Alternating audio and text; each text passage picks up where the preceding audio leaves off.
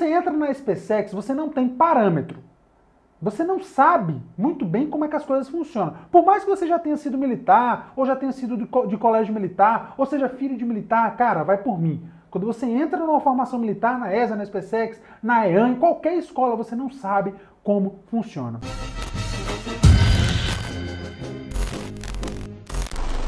Tá? E você também não sabe o seguinte, cara, que a parada dói. Na realidade, dói. Ser militar dói. Acordar cedo dói. O frio dói. O calor dói. Cara, você ser acordado de madrugada, você ir pra água, você ficar sujo, tudo isso dói. E não adianta fazer cara de gatinho. Não adianta tentar fazer com que outra pessoa, outras pessoas sintam pena de você.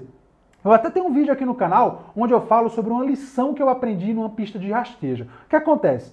Isso, isso aconteceu várias vezes, não foi só uma não, tá? E não só comigo, isso aconteceu muitas vezes.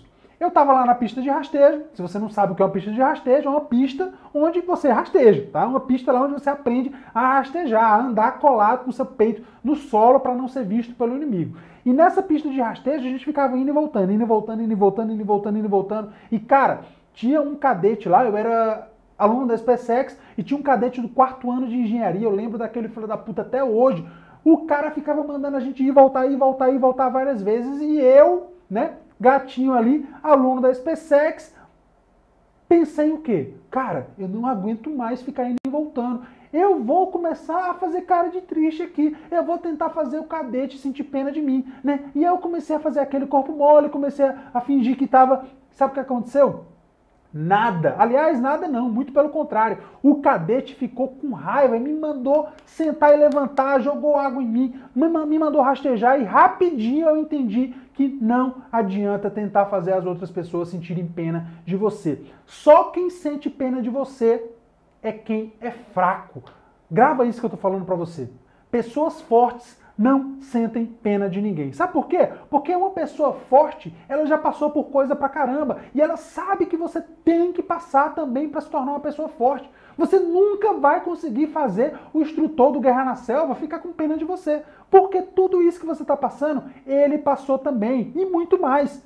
Então, nunca, jamais tente fazer ninguém sentir pena de você. Aliás, digita aqui nos comentários. Eu nunca vou fazer ninguém sentir pena de mim. Eu nunca vou tentar fazer ninguém sentir pena de mim. Não faça isso. Quando você for militar, cara, você vai entender melhor o que eu tô te dizendo e talvez você lembre né, em algum momento e fale assim, cara, eu tô na merda, eu tô cansado, mas eu não vou fazer, não vou tentar fazer ninguém sentir pena de mim. Então, você pode. Na formação militar, você vai ser colocado em situações difíceis, em situações em que você acha que não consegue progredir.